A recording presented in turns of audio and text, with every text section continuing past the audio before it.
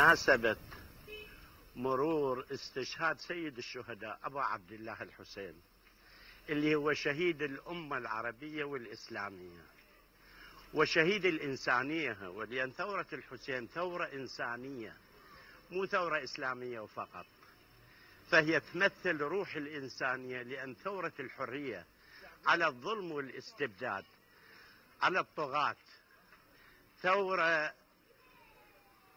مثلت كل أنواع الحرية ضد الظالمين والظلم.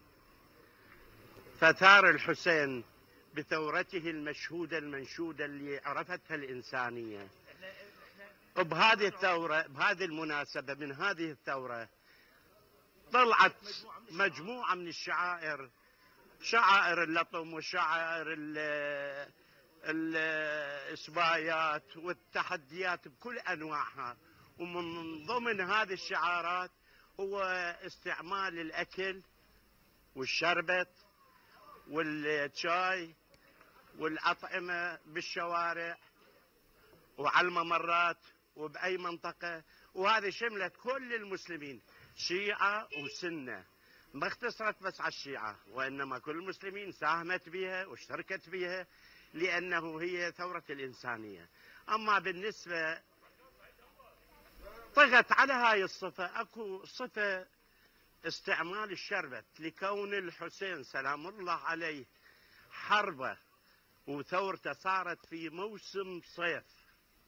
موسم الصيف يتمثل بالعطش الظمأ حرب وحصار بالماء فيمثل قمة الظمأ.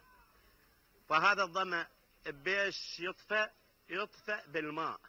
فأفضل من الماء واللي هو الماء أفضل كل المشروبات. فالإنسانية فضلت الشربت بعد على الماء تكريما لعطش الحسين. فاستعملوا الشرابت لإطفاء ظمأ اللي يقومون بمراسم حسينية. فشوف هذه المادة استعملوها بأحسن أنواعها. شرابة طبيعية وشرابة صناعية شرابة من عصائر الفواكه شرابة بالشكر وبأنواع الشكر الجيدة. فاستعملوا يفننون بهاي الشرابة وبكل من كل أنواعها حتى يطفون ظمأ اللي يبكون على الحسين. تكريما لظمأ الحسين. فظمأ الحسين هو أثر على روح ونفسية كل إنسان شارك بهذه المواسم بهذه المراسيم وأدوا الناس تكريما لهذا الظمأ هذه المراسم أدوها وبدون دفع وبدون مقابل.